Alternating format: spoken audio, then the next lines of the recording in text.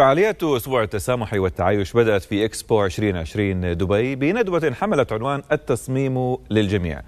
وركزت الندوة على تشكيل مجتمعات تستوعب أصحاب الهمم حيث يسعى أسبوع التسامح والتعايش إلى تسليط الضوء على ما يحمله التضامن والتشارك العالمي من فوائد.